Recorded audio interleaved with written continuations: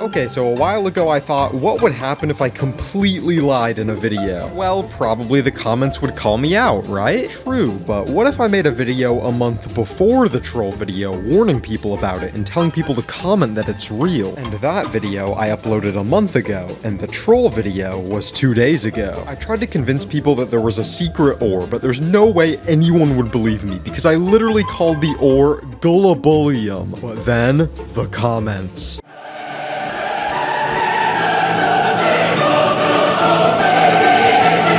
The best part were the people who were epically trolled. I think I've seen that before. Thanks for that information. I looked it up and there is nothing. You are a fraud. Okay, guys, I'm sorry. I'll never do it again. Pr probably. You might want to subscribe just in case.